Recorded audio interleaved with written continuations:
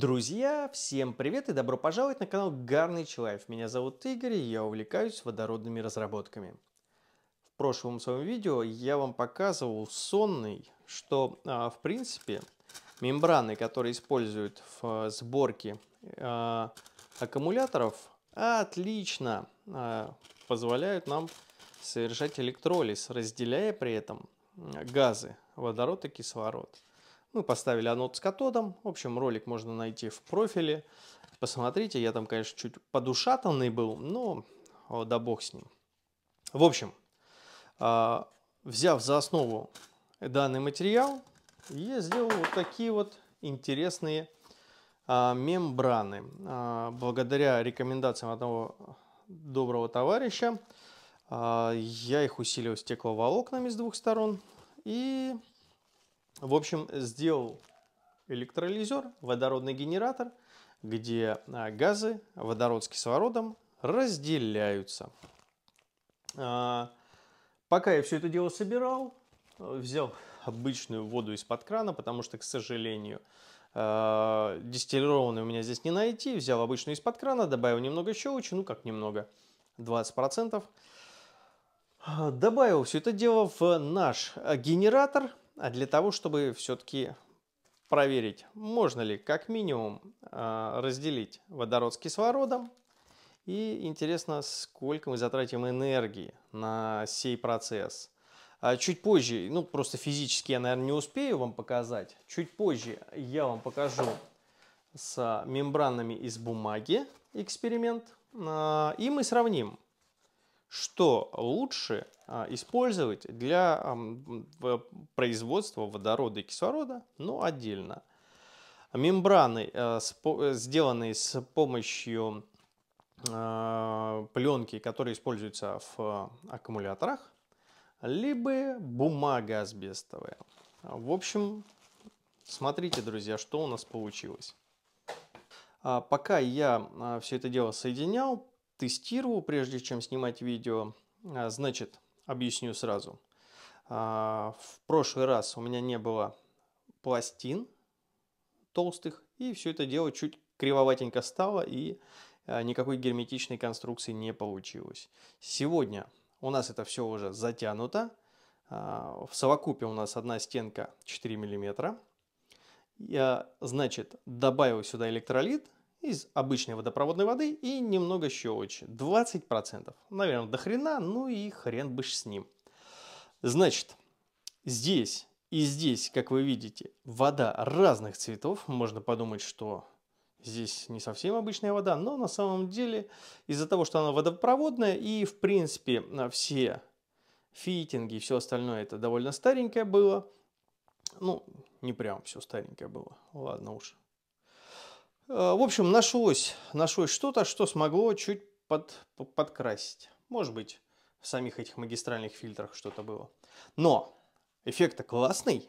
А если мы видим два разных цвета в одном генераторе, это значит, что у нас не смешиваются электролиты. И это значит, что получается газ, если пойдет и отсюда, и отсюда, это будет два разных газа, которые не смешиваются, потому что у них два разных электролита. И на самом деле самое интересное то, что сами эти электролиты это на самом деле одна и та же смесь, одна и та же жидкость. Хотя я задумался, пока это все дело собирал, что можно же разный процент сделать щелочи и тут, и тут. Или какие-то вообще разные электролиты. Один сюда, один сюда. Тем более, что они у нас не смешиваются. И а, посмотреть, что будет. Так, а, ну ладно. Смотрите. А, я это все импровизировано, то есть на скорую руку собирал, потому что а, часть каких-то комплектующих, ну, не хватало. Например, вот тупо эта трубка десятая, а заходит она в тройник 12 Там пришлось изолентой подвалять. И вот она там чуть покапывала, но сейчас уже вроде вот, вроде...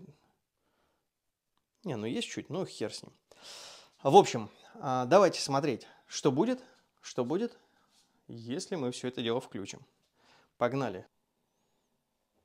Блок питания, шим-регулятор. Включаем. Пока газа никакого нет, потому что мы еще не подали напряжение.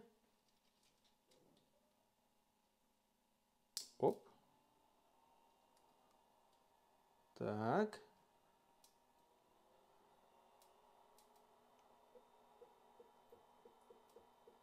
Пошла жара.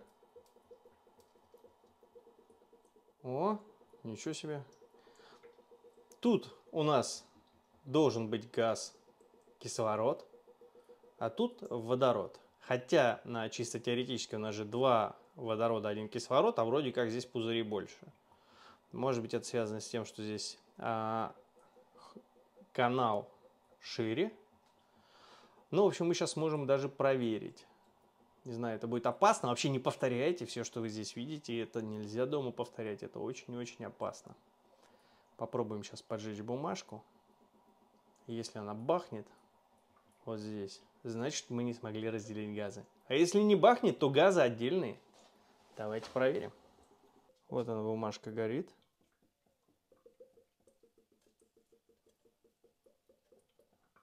Ничего нету. Давайте еще раз. Нету ничего. Так, но, видите, выходит, что... Так, шим задымился. Ё, корова. Блин, задымился шим. Хреново. Ах. Так, не потянул. Ну ладно, хрен с ним, что он задымился.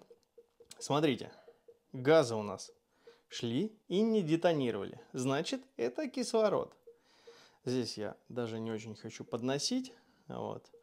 Но факт остается фактом. Здесь у нас кислород. Никакого водорода. Значит, мембраны себя показывают отлично. И надо решить вопрос с источником питания. Ну и заново провести тест. Давайте еще разочек. Пока шим хоть... Оп, опускаем. Ахаха. Вы видели? Не детонирует. То есть вот горит. Фух. Не детонирует. Ну, в общем, друзья, чистый кислород. Чуть испачкал эту жидкость, электролит, ну и хрен с ним. Так, дымит вовсю вообще. Надо его гасить.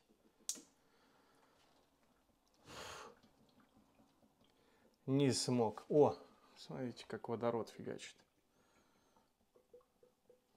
Жалко, жалко, что шим. Так, а у меня, наверное, другого шима и нету, который бы с этим справился. Надо более мощный. Нагрелся так хорошо. Ну что, в принципе, тест довольно интересный. А результат тоже. Ну что, друзья, мембрана, а, которую используют в аккумуляторах а, полимерная, она, скорее всего, какая-то клюенка с э, отверстиями, которые позволяет разделять газы, отлично себя показала. То есть она, во-первых, не смешивает электролит, а это, в свою очередь, говорит о том, что она, в свою очередь, не будет смешивать и газы. А во-вторых, мы после циклов э, тестов разберем, посмотрим, э, как она деформировалась, как она устояла или не устояла, разъела или не разъела щелочь и так далее. А, как только решим вопрос с источником питания. Не ожидал, что такая будет подстава, но результат довольно интересный. А, следующим этапом